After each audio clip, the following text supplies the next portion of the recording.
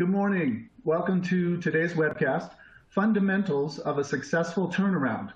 I'm Mike Rhodes, Managing Editor of Hydrocarbon Processing, and I will be your moderator today. During today's webcast, there will be two presentations.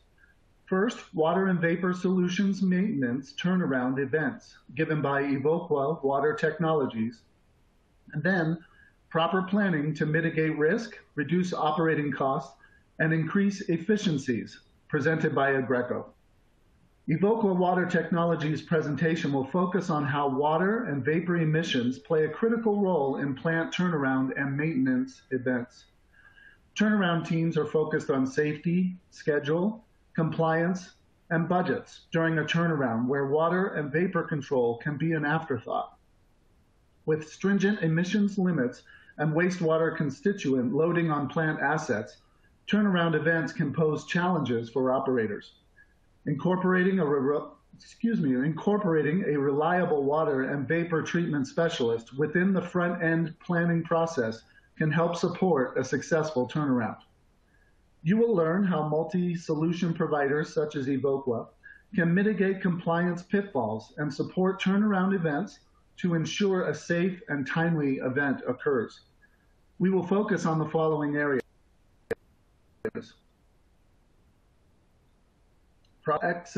thermal oxidizer, flareless turnaround events and vapor control, mobile wastewater asset control support. 30 years ago, equipment was owned and maintained by the site owner. The equipment was expensive to maintain and added additional overhead. Additionally, there was no return on capital. In the mid-90s, accounting laws changed, making rentals favorable to CapEx. This has created the rental industry as we know it today, with a keen focus on price, timely deliveries, and cost reporting. Leading with price has resulted in fewer services, creating a knowledge gap where owners order from a catalog with limited input from the supplier. Clients need more from a supplier than a spec sheet. They need a technical resource with value-added deliverables. We're going to discuss how proper planning can lead to a successful turnaround by mitigating risk, reducing costs, and increasing efficiencies. Joining us for today's webcast are Zach Nichols, Senior Director, HPI Vertical Market, Bob Wenta, Business Development Manager, HPI Vertical Market, and Patrick Greer, Product SME, Vapor Degassing from Evoqua. And from Aggreko, Ryan Nance, Turnaround Services Sector Manager, and Barney Smith, Business Development Manager, Turnaround Services. Zach Nichols is the Senior Director of Heavy Industry Vertical Markets for Evoqua Water Technologies. Along with oversight of the power, CPI, and food customer vertical markets, Zach has specific responsibility for downstream refining and renewable energy. Prior to joining Evoqua in 2018, Mr. Nichols was the Chief Financial Officer of Proact Services Corporation, now a wholly owned subsidiary of Evoqua. He has held the title of CFO and COO in other private equity-based companies. Bob Wenta is the Business Development Director for the HPI CPI markets for Evoqua Water Technologies. He has worked for Evoqua and its predecessor companies for more than 20 years in the roles of Product Manager process manager, business line director, and VP of sales and process. Bob has worked predominantly in the petroleum market since the early 2000s and is a wastewater SME for Evoqua's heavy industry division. Patrick, the vapor control SME and field service engineer for Evoqua Water Technologies, specializing in thermal destruction of VOCs. He started with Proact, now a wholly owned subsidiary of Evoqua, in 2016 as a field project engineer. Patrick graduated with a Bachelor of Science in Chemical Engineering from South Dakota School of Mines and Technology. Ryan Nance is Aggreko's turnaround sector manager. In his role, Ryan directly manages a team of dedicated, uh, dedicated team to focusing on identifying and capitalizing on these critical cyclical opportunities while prioritizing the highest levels of flawless execution on these critical projects. Ryan is a product both personally and professionally of the midstream and downstream world of the oil and gas sector. Before rejoining Aggreko, he served as a national account manager for United Site Services. While previously at Aggreko, Ryan was a local and then regional account manager. He has also operated in inside sales and project controls for Chart Energy and Chemicals. Ryan earned a bachelor's degree in marketing from the University of Alabama, Birmingham, while being a member of the 2012 Conference USA Baseball Champions. He is also armed with an MBA from Sam Houston Uni State University. Barney Smith has more than 20 years of experience in the petrochemical and refining industry in roles of increasing complexity. In his current role, he seeks out ways for Aggreko's North American Turnaround Services Group to assist its customers with innovative temporary utility solutions designed to increase safety, effect turnaround scope, and reduce schedules and cost. He also specializes in working with plants on complex engineered solutions related to process bottlenecks and seasonal cooling limitations. Barney holds his BBA in uh, Petroleum Land Management from the University of Louisiana Lafayette. Okay, before we get started, let's review some general housekeeping notes. Following the presentation, we will have a short question and answer session. You can participate in the Q&A session during the presentation by typing your question into the Q&A box located on the bottom left corner of your screen and then click the submit button. You may enlarge the slide window at any time by clicking on the arrows on the top right corner of the slide area. The slides will advance automatically throughout the event. If you are experiencing problems with the program, please press F5 on your keyboard to refresh the presentation. You can also visit the webcast help guide by clicking on the help button during the slide window. All right, we're ready to get started. I'm going to turn the time over to Zach Nichols. Thank you very much, Mike. Good morning, everyone. First and foremost, I'd like to welcome you to today's turnaround webinar and say thank you for your time and participation. We are Evoqua Water Technologies, and we'll be focusing the discussion this morning towards water and wastewater, as well as vapor emission impacts during a planned turnaround and outage. As Mike mentioned, I'm Zach Nichols. I'm our Senior Director of Downstream Refining Vertical Market, and we're also led by Bob Wenta, our Business Development Director for the Downstream Refining segment, as well as Patrick Greer with our engineering team and vapor degassing subject matter expert. If we could go to the next slide, please. So we'd like to begin with a brief overview of who we are. We are a global leader in the water business today, where our purpose is to transform water and enrich life. Now, we have a set of unique offerings that combine both state-of-the-art equipment technology as well as first-class service. Today, as you can see on this slide, we have over 200,000 installations worldwide with a breadth of over 4,200 employees at 164 of our global locations. We are a publicly traded entity on the New York Stock Exchange as Aqua.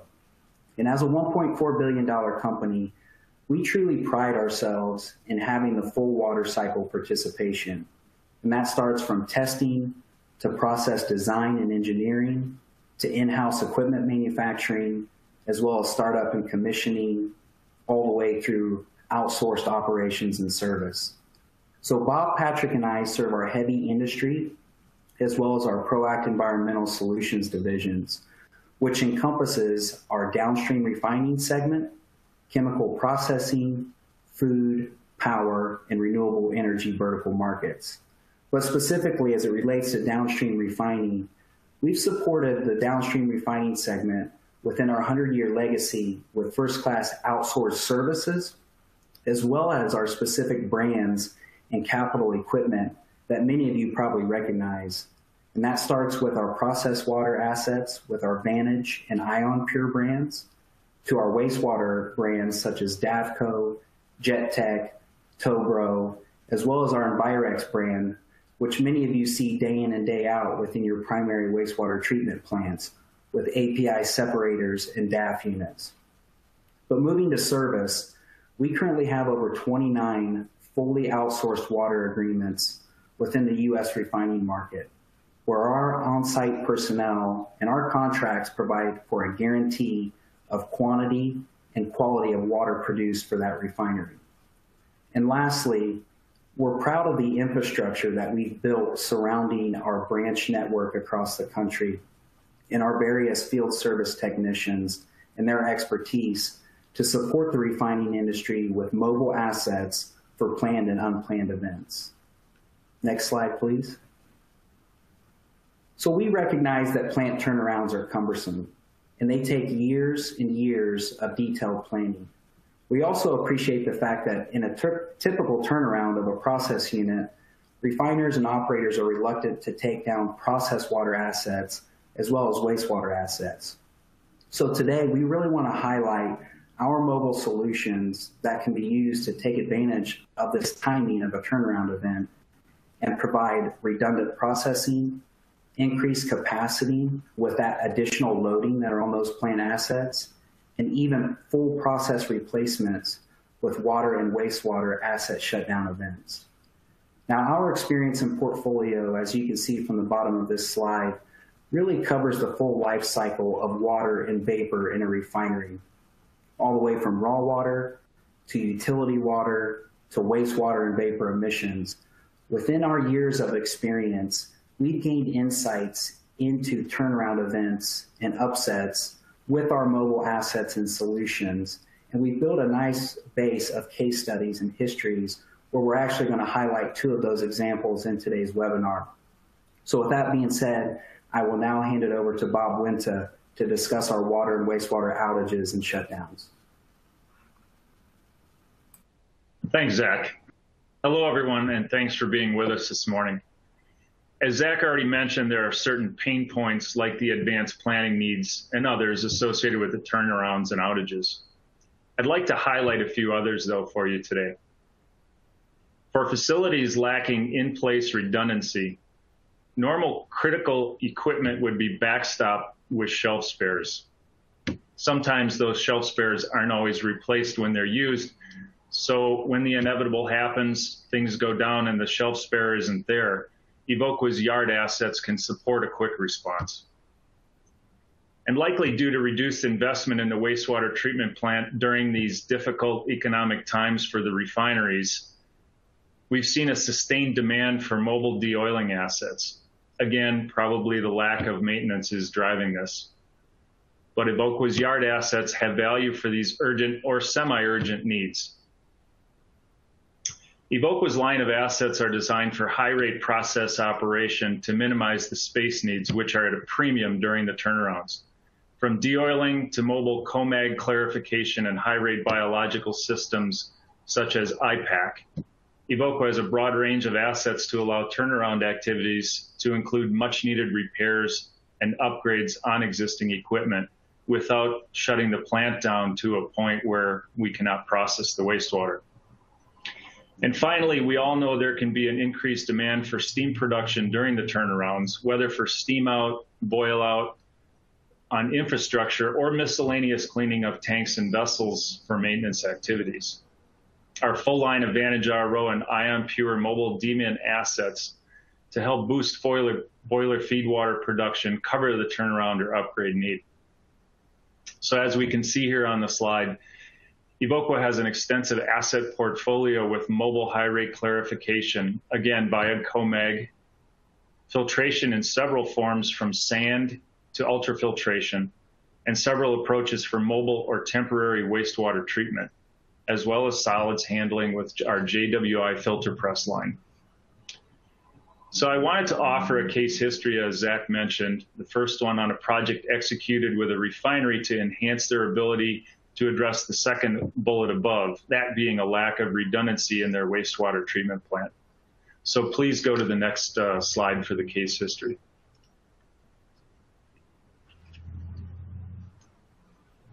This case history is about a refinery that, like many refineries, has a very space-constrained wastewater treatment plant. Their long-term goal was to reduce effluent suspended solids from the clarifiers keeping the tertiary filters at peak efficiency even when running at full production on opportunity crudes and during the wet season. In addition, they wanted to make the upgrade during a partial outage at the refinery, but under normal flow and load conditions. This all had to be done without adding another aeration basin or clarifier because they just didn't have the space. In other words, the treatment capacity of the activated sludge plant needed to be increased or intensified during normal operation and under normal loading conditions. Quite a challenge, as you can imagine. So our solution was to incorporate what we call the biomag process into that plant's operation, all while the plant was in full operation. So you can see a small red square in the uh, about the center of the picture on the right next to the aeration basins. That represents the building that houses all of the additional equipment needed for the biomag operation. Only the magnetite silo, which is 12 feet in diameter, was outside of that building. So the biomag process enhanced the intensity of the treatment, taking advantage of all the available footprint and the existing assets. So in the biomag process, the magnetite is added to the activated sludge process to ballast or to weight down the biological flocs. That causes them to settle much faster in the clarifiers. It allows the operator to retain more biological mass in the aeration plant and thereby allows more waste to be treated in the same footprint, all because it settles more reliably and more quickly. So if you have reliable, fast settling sludge, you treat more in the same space. The biomag ensures the plant keeps all of the bugs they need to process the waste and ensure the highest effluent quality out of the clarifiers at the same time. So for the project, Evoqua collaborated with the client's corporate and plant engineering staff to agree on a detailed implementation strategy. Once that was agreed, uh, the strategy was put into effect. And from conceptual discussions to the biomag effluent water production in nine months. That included the engineering, fabrication, delivery, installation, commissioning, and startup. So this isn't a small plant. This is a multi-train biomag system to meet the needs of this large wastewater treatment plant flow and load. There was a seamless transition to the current operation to biomag. That transition only consisted of adding the magnetite, to the return activated sludge line and seeding the bioreactors until they reached the proper amount uh, of magnetite in the plant. And yes, the magnetite is recovered uh, using a shear mill to dislodge the magnetite from the biological flocs and then a magnetic drum to recover it out of the waste activated sludge line. We reincorporate the bio, uh, the magnetite back into the biological system. And we're currently working on implementing another biomag strategy for a refinery to, place, to replace their entire wastewater treatment plant while it's in operation in the exact same footprint. So a bit of a choreography uh, to that project, but with Biomag, we'll be able to do it. So that's all I have for today. I'm going to hand it over to Patrick Greer, who's going to walk us through vapor controls during, tur during turnarounds and outages and cover another case history for you. So thank you once again. All right. Thanks, Bob. And when we're talking about vapor control, I first want to touch back onto wastewater. A lot of times, if you're treating a wastewater stream with high VOCs, you'll end up generating additional emissions that need control.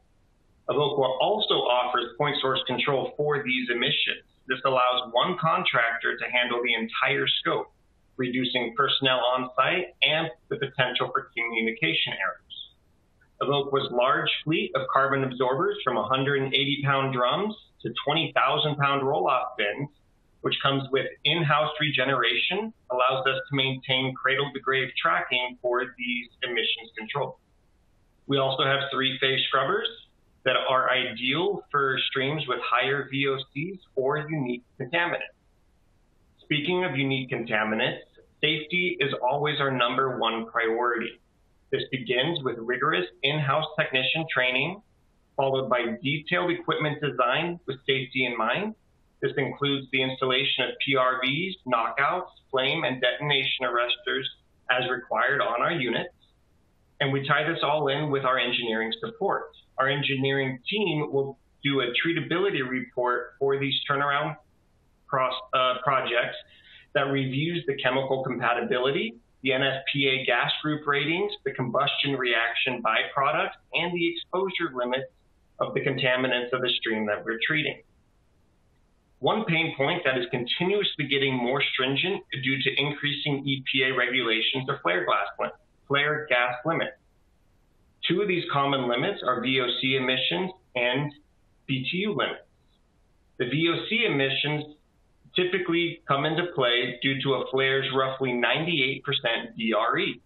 Well, when you're pushing more VOCs at the flare due to a turnaround event, the VOCs in the exhaust will increase. This is in comparison to our in-house combustion units, which have a greater than 99.9% DRE. So this additional destruction decreases the VOCs in the exhaust of your treatment system. The second limit for the BTU limits typically takes place when you're purging a unit with nitrogen. However, nitrogen does not burn, and so you will have a prevented combustion in your flare. However, our thermal oxidizers have an oversized burner and vaporizer that is able to maintain a temperature of 1400 degrees Fahrenheit or higher, which allows us to maintain complete destruction even in the presence of nitrogen. These flare gas limits are typically set by state or federal regulations. However, one regulation that is specific to refineries is the EPA's requirement for all fuel gas burners to have a continuous emissions monitoring system. However, this is not feasible for temporary or mobile solutions. Instead, the EPA allows you to have an alternative monitoring program, or AMP for short, that has to be submitted and approved. Evoqua has these programs, and all of our combustion equipment falls underneath our AMP, so we can burn these fuel gases while still staying in compliance, even if H2S is present. We also have air quality management district permits throughout California and are very familiar with the permitting process. And our engineering team is available to help with any permitting requirements that take place during the planning, planning process. One of the other main pain points that has been mentioned previously is schedule creep. With vapor control, this typically takes place due to depressurization timing not being accurate. However, our engineering team uses an iterative modeling process to ensure the proposed solution is actu actually feasible with the specified connection, valves, and piping. And we can suggest the changes and correct equipment needed to perform the depressurization in the time allotted. Some additional vapor applications, one of the most overlooked pollutant generation during a turnaround is vacuum trucks the exhaust of a vacuum truck typically has very high VOCs to the point where carbon alone is not necessarily enough to treat it. Instead, we have our internal combustion engine units or ICE units. These pair very well with our vacuum trucks and can actually provide additional vacuum and improve the operation of the vacuum truck without turning the pump of the vacuum truck on, our ice units can provide 18 inches of mercury or higher vacuum by themselves. They also have a very quick response time that allows them to respond to any changes in the process the vacuum truck might introduce. These ice units also pair very well for tank venting during stripping and filling for maintenance events. However, if we need additional BTU capacity, we also have thermal oxidizers all the way up to 50 million BTUs per hour. We can wrap all this together to provide a flareless turnaround where our 50 million BTU TO was built specifically for turnarounds in mind, where it has the communication and safety interlocks built into the PLC to talk to the facility plant.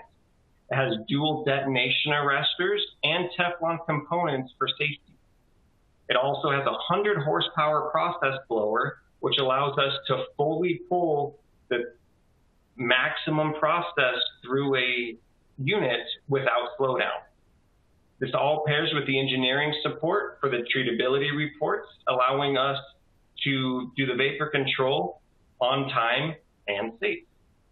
We also offer capital solutions from a full carbon and resin system with service to thermal, recuperative, or catalytic oxidizers. Now, for one of our case studies, we were working with a large plant in the US that had to shut down their on-site thermal oxidizer for five-year maintenance. However, they still had to treat the vapors coming to their unit because they couldn't turn off the facility. However, previously that they did this, the high concentration of corrosives in the stream caused severe leakage. And, and that was a main concern for this new project. So we worked directly with their corporate and plant engineers, and our engineering team developed a treatability report looking over the chemical compatibility as well as gas group ratings and reaction byproducts and determined a solution where we could do this activity safely. So our solution was to provide our 25 million BTU thermal oxidizer for the vapor control during the down. However, prior to mobilization, we converted all our soft components to Teflon. This includes all our gaskets, all our expansion joints, as well as the blower seals. But doing these things allowed us four weeks of runtime with no down and no leaks. So that's all I have for vapor control. Zach, I'll pass it back off to you.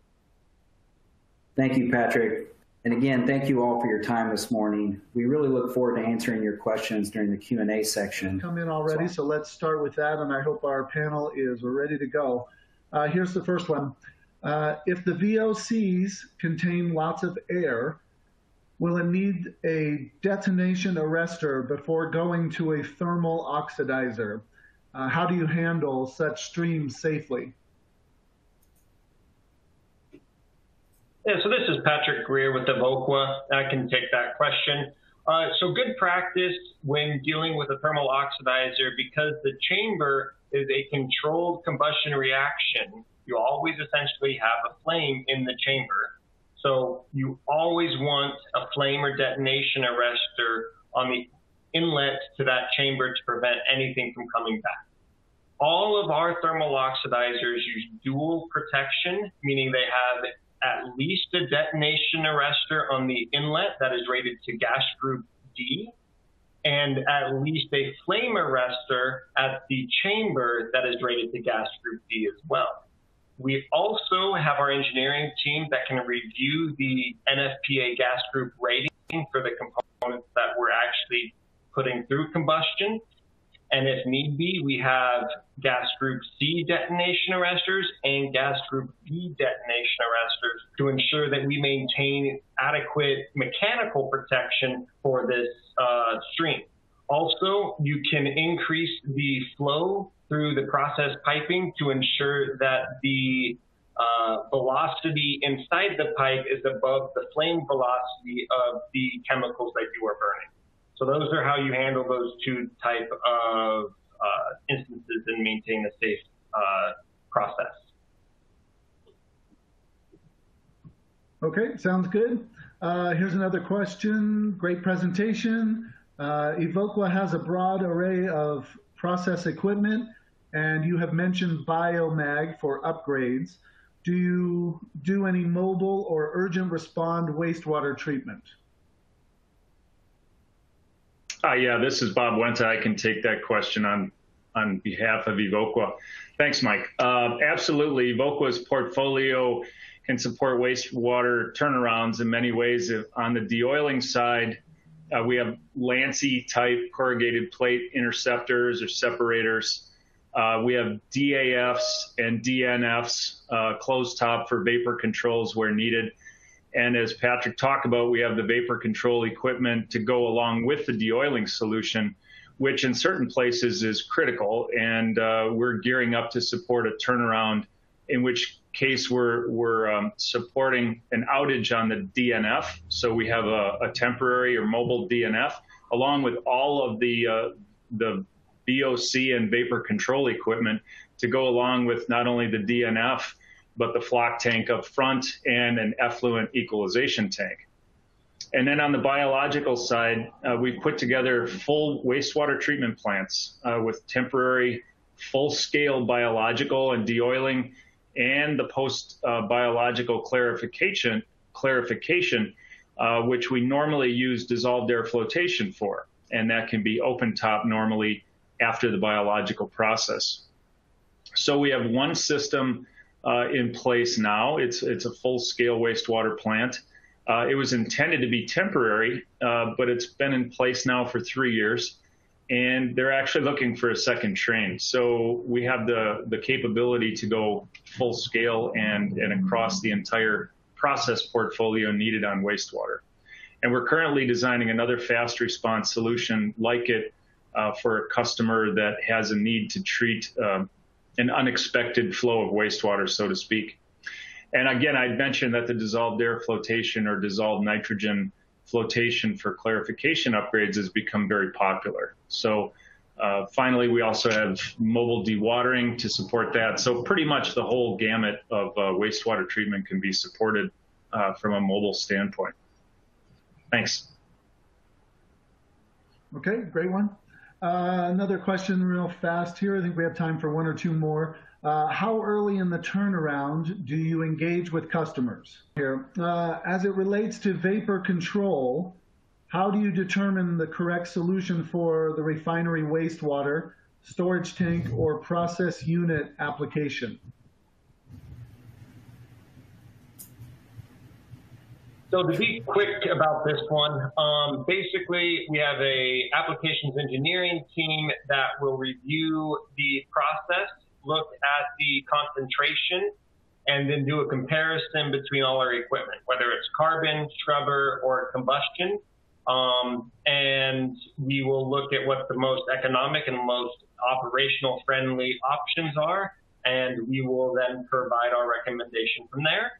And if the customer wants multiple options, we will provide multiple options. If they want to see the difference between a carbon unit and an ice unit, we will provide that. Um, but we'll always kind of give our recommendation based on flow rates and uh, concentration of VOCs coming in. That's it. Thank you. Okay, great. Great comments, guys. We appreciate that. And thanks to our audience for submitting your questions. We will follow up uh, after this uh, panel with answers if we didn't answer your question um, verbally here. We would like to thank our audience for attending today's webcast. We would also like to thank Aggreko and Evoqua for putting together this timely and informative presentation.